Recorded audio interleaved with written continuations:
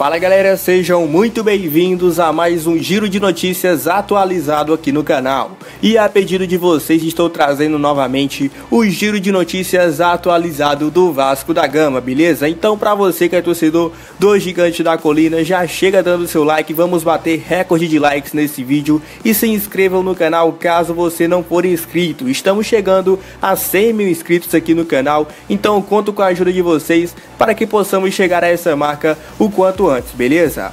E vamos deixar de enrolação e bora para as notícias do Vasco que estão atualizadíssimas. Começando o nosso giro de notícias do Vasco, vamos falar da possibilidade do Cruz Maltino ser rebaixado para a segunda divisão. Há 11 rodadas sem vencer no Brasileiro, o Paraná, com 99% de risco de rebaixamento e 7 desfalques, parecia o adversário ideal para o Vasco conquistar o primeiro triunfo como visitante e deixar o Z4 com uma gordurinha. Faltou harmonizar todos os dados com a sorte e capricho na pontaria no empate em 1 a 1 no Dorival de Brito. O resultado da última segunda-feira foi suficiente para deixar o Vasco fora da Z4, com 30 pontos, mas o risco do Cruz Maltino ser rebaixado ainda é alto. Segundo o site Chance de Gol, com o empate, o Vasco alcançou 31% de chances de ser rebaixado para a segunda divisão do Campeonato Brasileiro e tem apenas 18,2% de conseguir uma vaga na Sul-Americana. Outro carioca que corre risco, porém menos que o Vasco, é o Botafogo, 19% de chances de cair para a Série B. E agora vamos falar das eleições do Vasco que estão bombando muito nos bastidores do clube.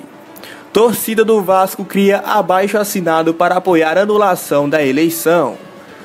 Desde a manhã desta quarta-feira, os torcedores do Vasco têm colhido assinaturas para um abaixo assinado virtual no qual manifestam apoio à anulação da eleição do clube ocorrida em novembro do ano passado e que terminou com Alexandre Campelo como novo presidente.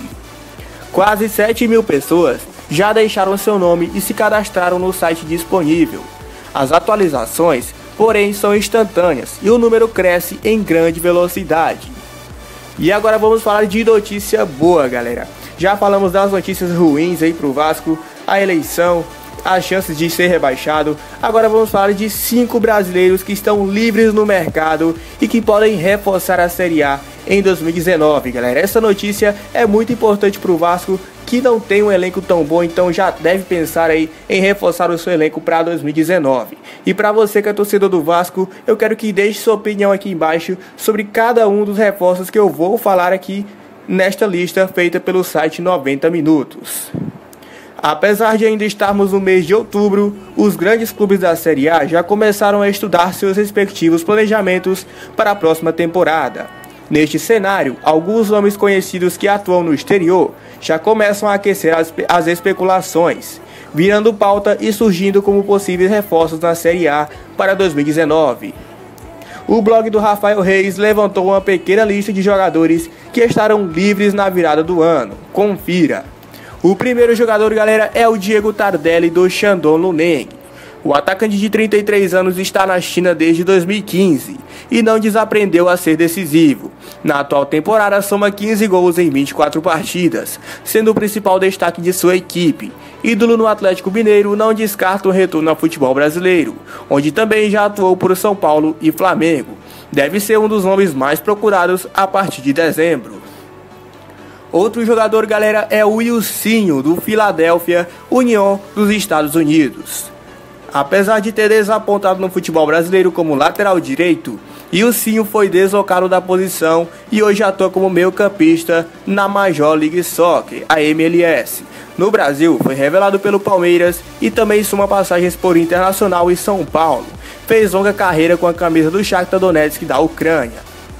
E o terceiro jogador é o Souza, do Osaka do Japão.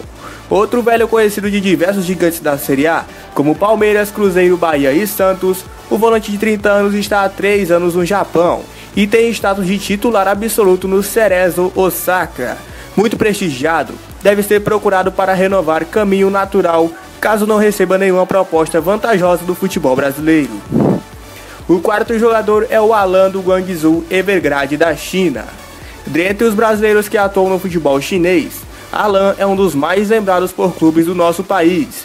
Revelado pelo Fluminense, o veloz atacante perdeu espaço no Guangzhou após uma suspensão por agressão e por conta disso pode acabar tomando novos rumos ao final do seu contrato.